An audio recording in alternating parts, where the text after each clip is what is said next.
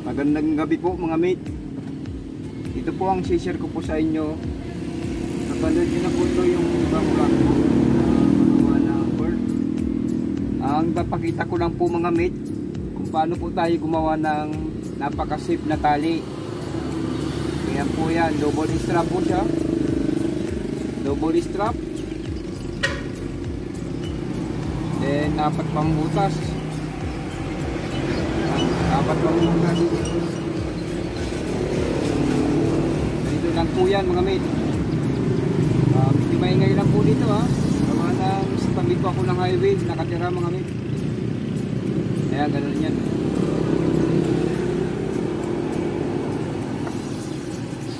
Pag na-finish mga mate, ito po yun. Ah, nakasindi pa yung lampara ko kasi may gagawin tayo. Papakita ko po sa inyo kung paano ko po ito inasimbol. Ito po yung pinaka pinaka the best ko na tali mga mate. Para sa akin ito na po yung pinaka special ko at pinaka safe na tali. Ayan po. oh. Ayan. Tutulak mo lang ito bago buksan. Tutulak nyo lang po yung lubid. Sa mga gusto ng ganitong design na kahit medyo matagal buksan ay okay naman. At least eh, very safe po. Ligtas po ang ating manok. Bubukan nyo. Ayan. Pag isasara nyo po.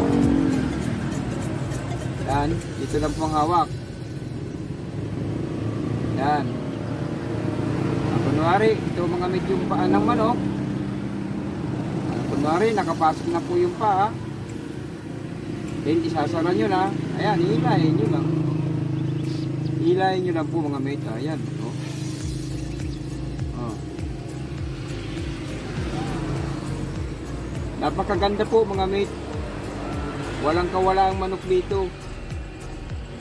Pati po yung ibang tao, pag ibang tao po ang magbukas nito, hindi agad-agad nila ito mabubuksan.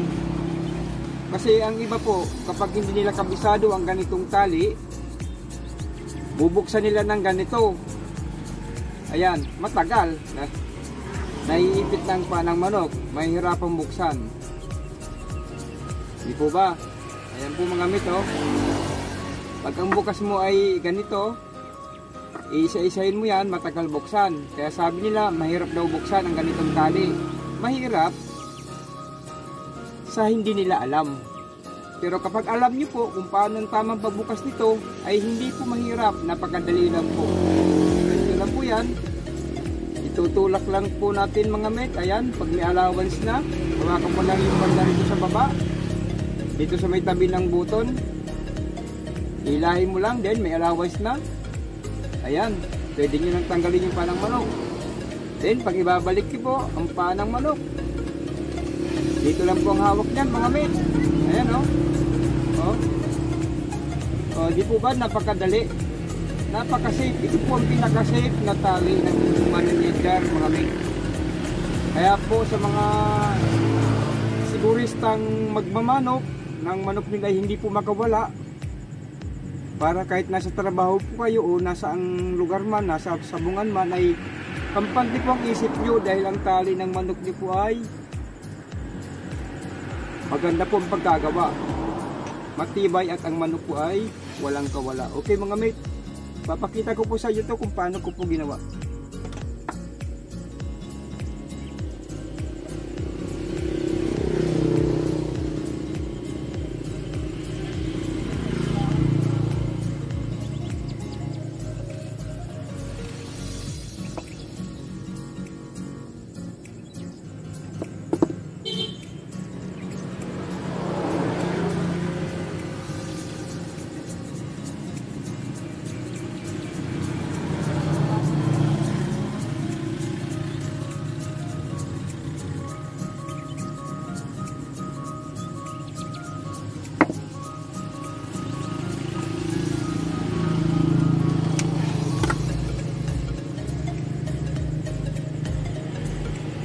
Level loss ito mate, mga mate, ito po yung transparent po, transparent hose na pinutol ko.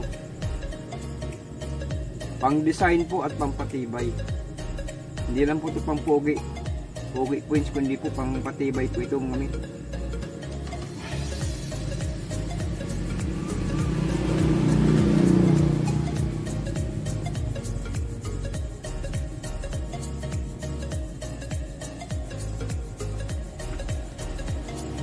Gagamit po tayo mga mit ng button lock.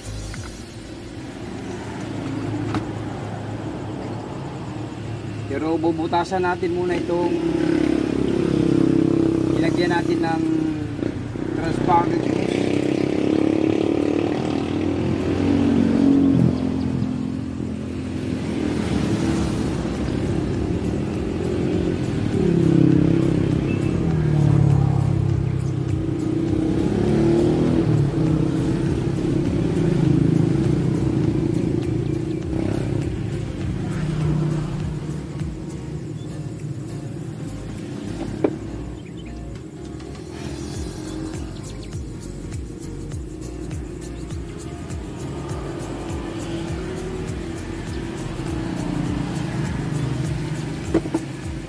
Ayan meat.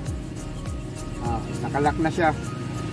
Then, kailangan po natin itong pasuin para kuminis. At maging pulido.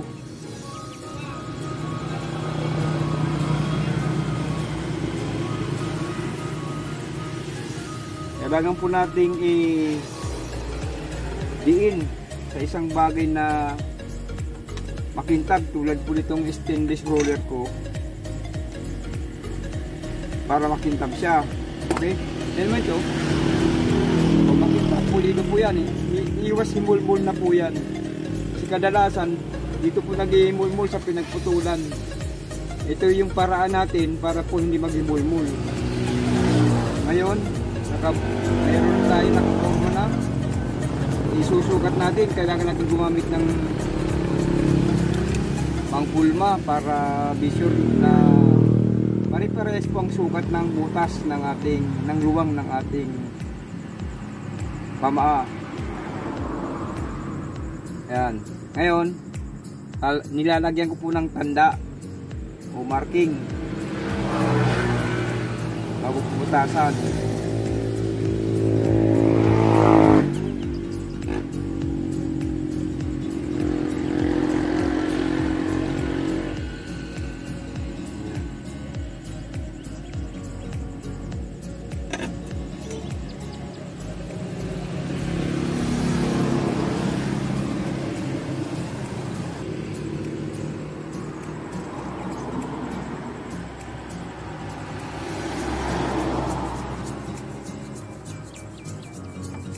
meat. Oh, may apat ng butas. Pamukha siya ng isa na sinampol natin.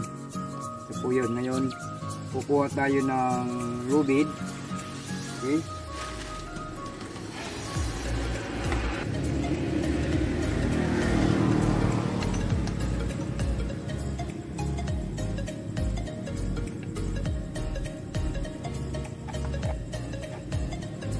Okay mga mate, ito na po. Ready na. Papasok natin sa dito.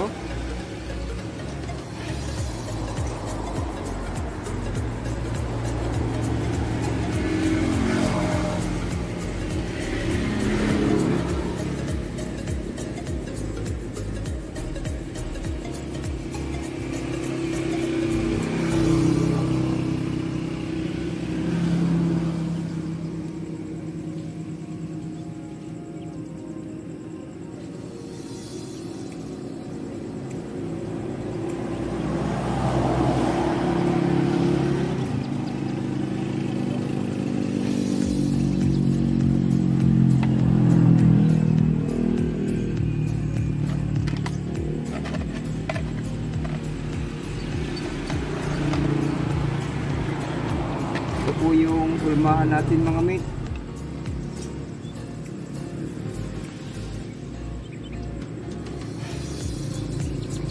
Sa mga baguhan lang po dyan na nakapanood ng aking video, pwede nyo po itong gayahin para meron po kayong extra income. Nasa ang lugar man po kayo, sana makatulong po itong sinishare ko po sa inyo mga mate.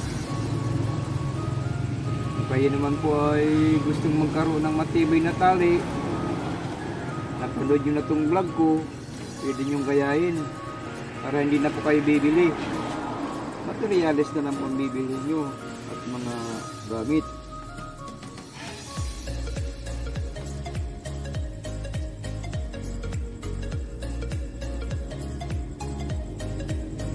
So kailangan yung paghulma mga mate pulido. Para magandang tingnan. Yung ginagawa natin mga mate, ito yung tali na hindi pang commercial po, hindi po ito pang commercial. Pang matagalan po ito. Natali ng ating mga panabong.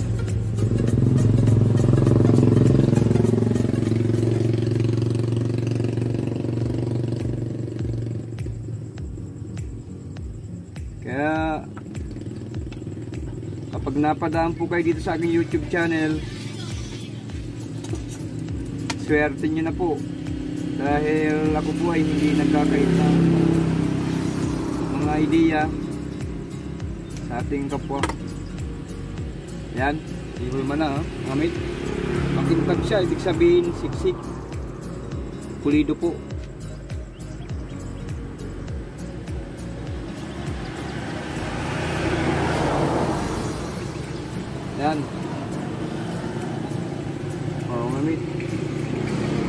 Maglalagay tayo ng swivel.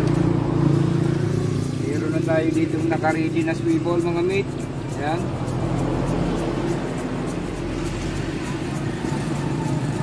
Gagamit naman tayo mate ng kulmahan na oh, mas malalim. Mas malalim na hulmahan, mas maganda, mas matibay.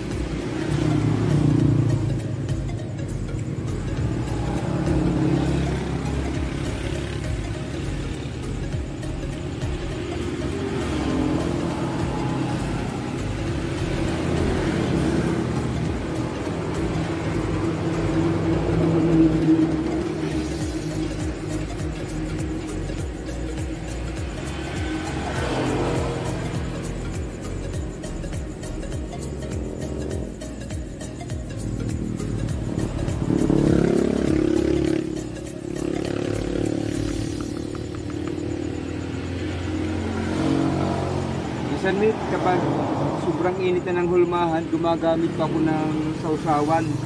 Ang ginagamit ko pong sausawan ay yung denatured alcohol para mabilis pong lalamig yung hulmahan natin para madali mong tanggalin. Okay? Ito na po. Ayan. Nakabuo na po tayo ng pamaa.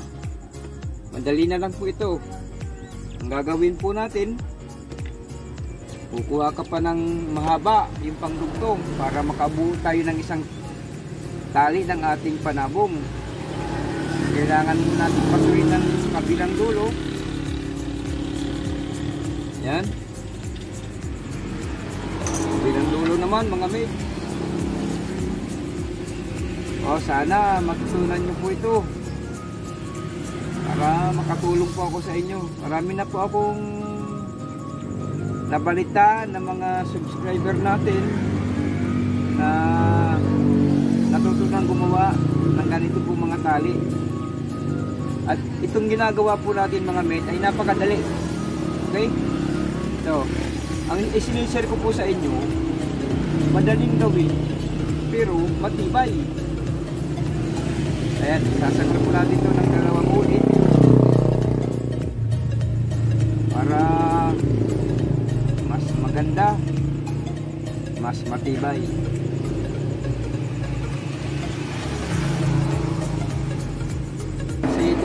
Ginagawa natin mate ay, ay hindi ito pang commercial. Di bali po matagal gawin, basta po maayos at pulido. Para yung mga manok po natin, iwas disgrasya mga mate.